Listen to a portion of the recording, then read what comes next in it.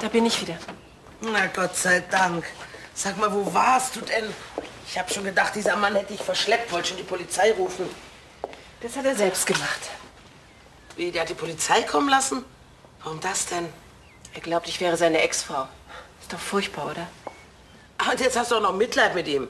Er war völlig durcheinander. Ja, wahrscheinlich braucht er einen guten Arzt. Möglich.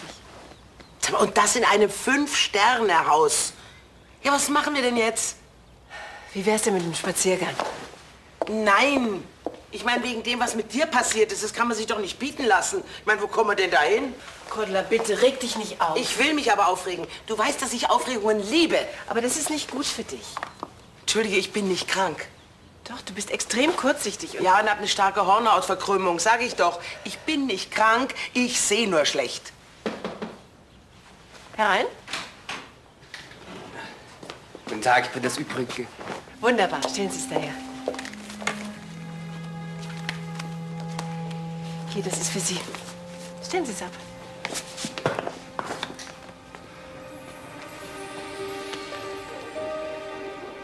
Entschuldigen Sie. Sind Sie nicht... Ich meine, Sie sehen aus wie... Nein, ich bin es nicht. Schönen Tag noch.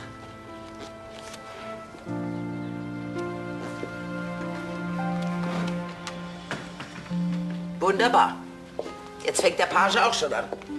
Allmählich wird es unheimlich. Wir sind doch keine Zirkusattraktion. Cordula, bitte. Nein, nein, nein. Der Herr Direktor, der kriegt jetzt was von mir zu hören. Wo sind meine Schuhe? Und du kannst mich nicht aufhalten, das sage ich dir. Das ist gut für meinen Kreislauf. Ich bin so richtig gut in Fahrt und das ist sehr gut für meinen Kreislauf. Jacke. Ach. So, Fernglas. Und dieser Herr Direktor, dem werde ich jetzt aber die Leviten lesen. So kann man mit uns nicht umgehen. Das sagt, ah, ja, das fehlt mir noch. Gut für meine Laune. Wunderbar. Wo geht's lang hier? So. Wie machen Sie das bloß, André? Ein Riesenhotel und die kleine Kombüse hier. Es ist alles da, was man braucht. Ah, die Ausstattung ist top. Es freut mich, dass unser Equipment Ihre Anerkennung findet. Viele Hotelgäste kommen nur wegen meiner Küche hierher. Glaube ich sofort.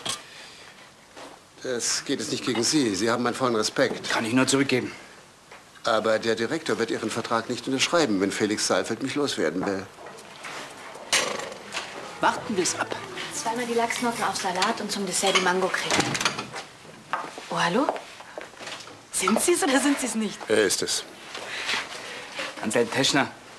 Marie Sonnenbichler. Was machen Sie denn hier? Hm, doppelt hält besser. Sie kochen für uns? Wenn ich darf. Großartig. Ich freue mich schon, schon aufs Naschen. Lachsnocken auf Salat sind leider aus. Ja, dann gib was anderes raus.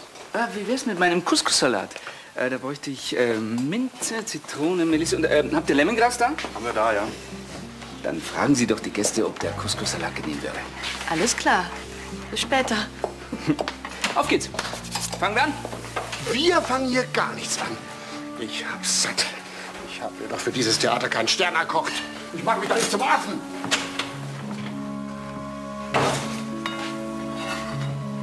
Ja, dann her mit den Zutaten. Was ich hier will, das fragen Sie noch? Ich will eine Entschuldigung. Sie sollten mir dankbar sein. Haben Sie eine Ahnung, mit wem Sie sich da umgeben? Im Gegensatz zu Ihnen ist Frau Silvia Wielander eine hochanständige Person mit bestem Benehmen. Sie sollten sie eine Scheibe davon abschneiden. Silvia Wielander heißt in Wirklichkeit Barbara von Heidenberg und hat zwei Menschenleben auf dem Gewissen. Sie irren sich. Ich kenne diese Frau seit langem. Sie ist die Ehefrau meines Arztes. Ist ja überhaupt nicht zu fassen. Das ist doch Ihre Masche, Ihre Umgebung täuschen. Gibt hier irgendwas zu trinken? Sie können einen Kaffee haben. Kaffee? Nein, da, hier, von dem Cognac hätte ich gern was. Na gut, dann eben von meinem Cognac. Na, na, mal nicht so ungezogen, junger Mann. Ja, mein Gatte war zwar nur Klodeckelfabrikant, aber meine Familie, alter holländischer Adel. Ja, ich bin beeindruckt. Ich kenne jede Menge einflussreiche Leute. Zum Beispiel den Verleger Herrn Dr. Schenk. Ich weiß nicht, was das mit Ihrer Begleiterin zu tun hat. Herr Dr. Schenk verlegt viele Zeitungen und Zeitschriften. Er kann für jede Menge negative Presse sorgen. Hören Sie, Frau von Döring? Van Dering. Gut, Van Dering. Es liegt mir fern, meine Gäste zu beleidigen. Anstand und ausgesuchte Höflichkeit sind das oberste Gebot in meinem Haus. Kann ich Sie sprechen? Habe ich hereingesagt? Guten Tag. Weißt du, was in der Küche los ist? Nein, und es interessiert mich auch nicht. Ich bin mitten im Gespräch. Dann bitte ich vielmals um Entschuldigung, Majestät. Wiedersehen. So, so. Anstand und ausgesuchte Höflichkeit. Nun ja, einige Menschen definieren den Begriff vielleicht anders. Frau van Dering, ich will Sie doch nur warnen. Und ich will eine Entschuldigung. Ende der Diskussion.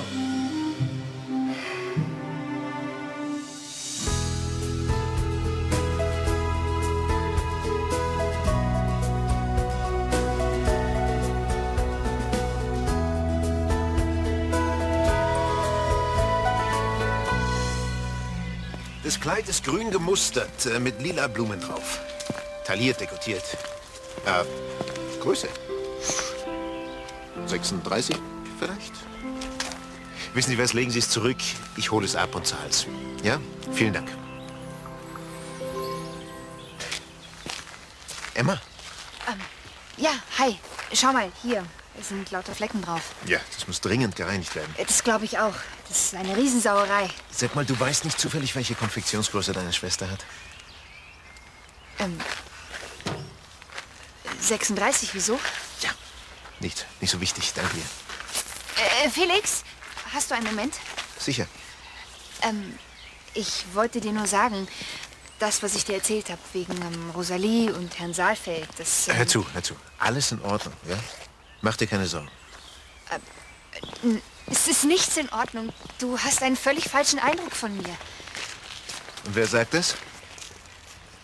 Rosalie hat mir erzählt, dass du denkst, ich hätte sie nur in ein schlechtes Licht stellen wollen. Und das mit Herrn Saalfeld, dass ich das nur behauptet hätte, weil ich... Emma, hör zu.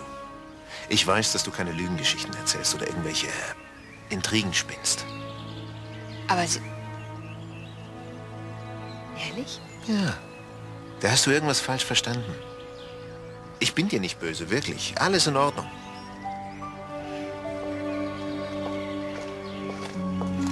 Das kann doch nicht sein. Was denn?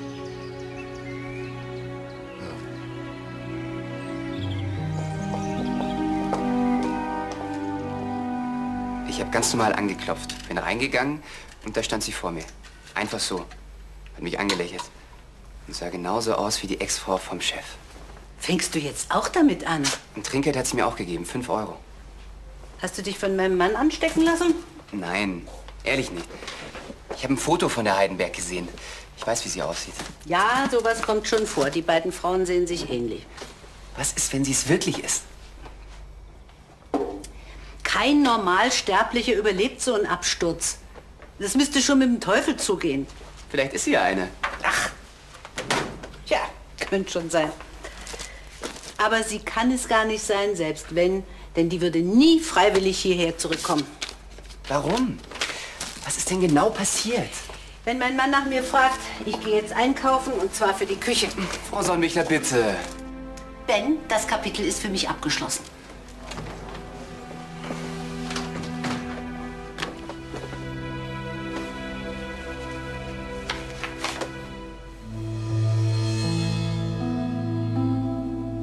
Wer weiß. Manche Menschen sind immer für eine Überraschung gut. Ja, das habe ich alles notiert. Drei Einzelzimmer sind fest und wenn Sie das Doppelzimmer brauchen, dann rufen Sie mich nochmal an. Jawohl, Herr Doktor. Vielen Dank, auf Wiederhören. Emma? Hallo, was ist denn los? Ich frage mich nur, was mit Felix los ist. Wieso? Er war gerade ganz durcheinander, als er diese Frau gesehen hat. Welche Frau denn? Ach so, das kann nur die Frau von Heidenberg gewesen sein. Ja, aber dann wundert's mich nicht. Die hat ihm damals ganz schön zugesetzt. Wieso, was war denn? Die hat ihm das Leben zur Hölle gemacht. Sie wollte unter keinen Umständen, dass er ihre Stieftochter heiratet. Naja, und dann, Was und dann? dann hat sie ihn sogar entführen lassen. Was? Ja, er war tagelang eingesperrt. Nein. Doch, skrupellos. Ohne jedes Gewissen. Ihr ging's immer nur ums Geld. Was der damals ausgestanden haben muss. Ein Albtraum, diese Entführung.